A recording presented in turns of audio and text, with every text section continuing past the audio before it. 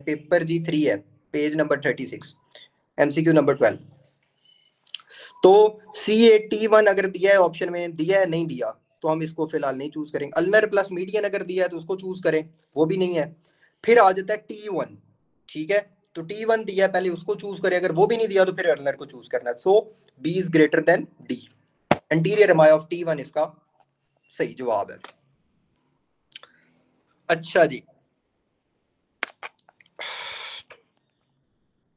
medial boundary of inguinal triangle कौन बनाता है? ये एमसीक्यू ना थोड़ा सा गलत है। थर्टीन एमसीक्यू जो है ना, वो as far as I know ये गलत है कि उसने पूछा जी medial boundary of inguinal triangle inguinal triangle का दूसरा नाम अगर बाज बच्चों को नहीं पता जो कि मेरे जैसे कंफ्यूज बच्चे हैं तो उनके लिए ये है कि जो इंग्वाइनल ट्राइंगल है, ठीक है? मैं ये जो बाज बच्चे कहता हूँ, वो वन टू टू परसेंट है। सबको पता ही होगा लेकिन कुछ होते हैं जो थोड़े से जो है ना, जिन्होंने डीप स्टडी नहीं की होती तो उनके लिए ये है कि इंग्वाइनल ट्राइंगल का दूसरा नाम होता है Hesselbach triangle inguinal triangle का दूसरा नाम क्या होता है? हैजल बैक ट्राइंगल और इसको इंग्वाइनल ट्राइंगल क्यों कहते हैं? क्यों क्योंकि इसके थ्रू हर्निया जो है, वो जाता है। इंग्वाइनल हर्निया इसके थ्रू जाता ठीक है? और कौन सा?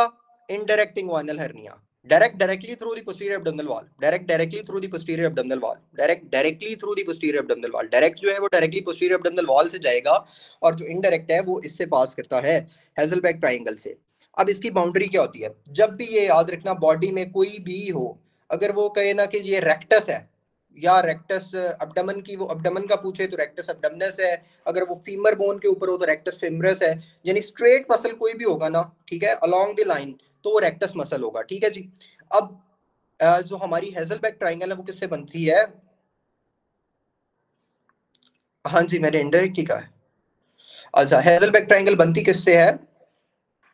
हेजलबैक ट्राइंगल बेसिकली बनती क्या है? कि ये जो हमारा रेक्टस अबडमनस मसल है ना रेक्टस अबडमनस मसल ठीक है? आ, वो इस साइड पे होता है मीडियली ठीक है? ये रेक्टस अबडमनस मसल है ये यहाँ पे प्रेजेंट है। और इधर से इन्फीरियर एपिगेस्टिक वेसल्स आ रही होती हैं। ये एपिगेस्ट्रियम है एपिगेस्ट्रियम से इन्फीरियर एपिगेस्टिक वेसल्स आ रही होती हैं और नीचे वाली साइड से इंग्वाइनल लिगामेंट आ रहा होता है। तो अब इसकी जो बेस है वो इंग्वाइनल लिगामेंट बनाएगा, जो इसकी जो मीडियल बाउंड्री है मीडियल बाउंड्री मीडियल बाउंड्री जो होती है वो lateral border of rectus abdominis medial boundary lateral border बाहर वाला जो बॉर्डर जा रहा है रेक्टस अबडमनस का, वो बनाएगा और जो इसकी लेटरल बाउंड्री है लेटरल साइड पे, वो बनाएँगे इंफीरियर एपिगेस्टिक वेसल्स ठीक है जी? ये इंफीरियर एपिगेस्टिक मैं थोड़ा सा ऊपर बना रहा हूँ, वैसे ये होता नीचे है। ये इंफीरियर एपिगेस्टिक वेसल्स पड़ी हैं, ये रेक्टस अबडमनस मसल पड़ा है, नीचे इंग्वाइनल लिगामेंट पड़ा। ठीक है? तो ये हेजलबैक ट्राइंगल की बाउंड्रीज हैं। इधर जो है ना वो ए ऑप्शन उसने दिया हुआ है रेक्टस फेमरस रेक्टस फेमरस का कोई रोल नहीं होता, ये गलत है जवाब, ठीक है?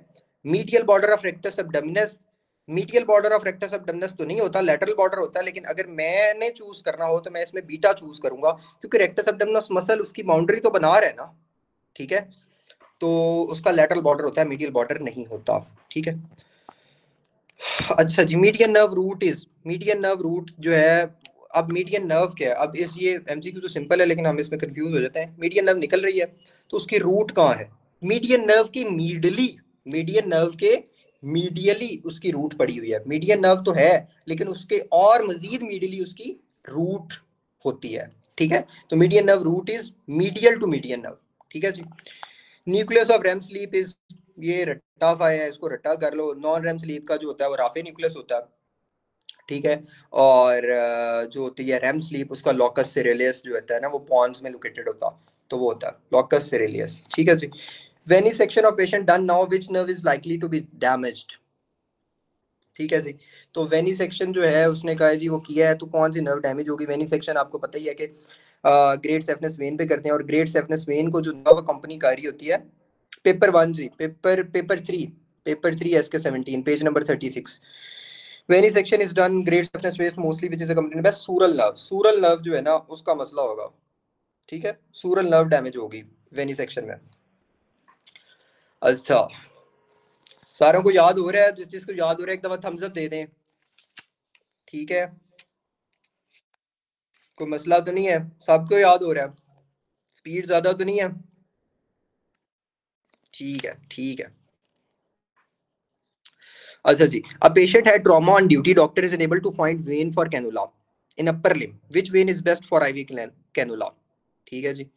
अब उसको अपर लिम में कोई वेन नहीं मिल रही, ठीक है? तो उसने लोअर लिम में वेन ढूंढ दी है तो कौन सी बेस्ट है? देखो, छोटा लिम जो अपर लिम था, उसमें कोई वेन नहीं मिल रही, ठीक है? तो keep it remember like this कि छोटा लिम जो अपर लिम था, उसमें कोई उसको वेन नहीं मिल रही तो बड़ा लिम जो लोअर लिम्ब है उसमें कोई बड़ी चीज़ होनी चाहिए जो उसको मिल जाए, जिससे वो वेन पास कर ले कैनुला पास कर ले तो वो ग्रेट सेफनेस वेन जो है ना, वो बेस्ट है। छोटा लिम जो है, उसमें उसको नहीं मिल रही तो बड़ा लिम जो है, वो लोअर लिम्ब होता है। लोअर लिम में कोई बड़ी चीज़ ग्रेट चीज़ होगी तो वो ग्रेट सेफनेस वेन है जी। ग्रेट सेफनेस वेन ठीक है? जिनको याद है वेल एंड गुड जिनको नहीं याद, वो उसको इस तरह से याद कर ले। इनशाला पेपर में ये चीज़ याद आ जाएगी। Elevation of mandible is done by ठीक है? अच्छा जिनको ये पता है कि मसल कौन कौन से उनके लिए कोई इशू नहीं है। उनको पता है कि जी किस तरह एलिवेशन होनी है, किस तरह जिनको नहीं पता, ठीक है? ये बात उनके लिए है कि जिनको नहीं पता, उनके लिए है कि आपने इसको इस तरह से याद रखना है कि जब क्लास में, बचपन में हम जब छोटे थे तो जब क्लास में मैम आती थी मैम आती थी तो सारे खड़े हो जाते थे और मुँह अपना बंद कर लेते थे, ठीक है? सारे खड़े हो जाते थे और मुँह अपना बंद कर लेते थे जब भी मैम आती थी। तो MAM stand for masseter M for masseter A for anterior fibres of temporalis anterior fibres of temporalis masseter ठीक है? और मीडियल टेरेगॉइड मीडियल टेरेगॉइड ये तीन मसल्स हैं मैम ठीक है? Masseter masseter interior fibres of temporalis और मीडियल टेरेगॉइड ये तीन जो है ना, हम खड़े होते थे जब मैम आती थी तो ये तीन मसल्स का काम क्या होगा? Elevation of mandible elevation of mandible ठीक है जी? और साथ ही साथ, हम मुँह अपना बंद कर लेते क्लोजिंग ऑफ़ माउथ ठीक है जी? तो ये सारे जो है ना, ये आपको इसमें से जो हमारा है लेटरल टेरिकॉइड नहीं है माइलोइड नहीं है डायगोस masseter is the best option elevation of mandible is done by masseter ठीक है? मैम से याद रखना है तो आपको इंशाल्लाह ये एमसीक्यू जो है ना, वो कंफ्यूज नहीं करेगा। इधर ही साथ नीचे ना लेटरल टेरिकॉइड का बहुत ज़्यादा आता है। जब आप ना एल बोलते हो ना एल तो आप अपना मुँह खोलते हो, ठीक है? और जॉ जो है, वो डिप्रेस हो जाता है। एल जब बोलते हो एल ये मुँह खुल गया। तो ओपन माउथ के लिए जो होता है ना, वो लेटरल टेरिगाइड होता है, ये एमसीक्यू बार बार आया हुआ है, ठीक है? तो वो भी हमारा साथ ही कवर हो गया। अच्छा जी एमसीक्यू uh, नंबर जो है वो 19 a non diabetic female undergo bone marrow transplant after 2 years having chronic rhinosinusitis fungal infection हो गया उसको फंगल बाल सेप्टेट हाइफे एटिक्यूट एंगल मैंने वैसे ना एमसीक्यू ज़्यादातर स्पर्जिलस के ही देखे हैं और उसमें सेप्टेट हाइफे होते हैं और इसमें फंगल बाल बनती है अगर किसी को वो माइक्रो याद है तो वेल एंड गुड वरना बस ये याद रख लो कि एक स्पर्जिलस है ठीक है? उसने फंगल बॉल वगैरह बनानी होती है और उसमें सेप्टेट हाइफियाटिक एक्यूट एंगल होते हैं। ठीक है? रेस्पिरेटरी सिम्टम्स देता है तो aspergillus is the right option body metabolic response to trauma skeletal muscle response by अच्छा जी। जब भी ट्रॉमा होगा ना, जब भी ट्रॉमा होगा, कोई भी ट्रॉमा हुआ है तो प्रोटियोलाइसिस होगी। ठीक है? इंक्रीज प्रोटियोलाइसिस होगी। उसकी वजह से क्या होगा?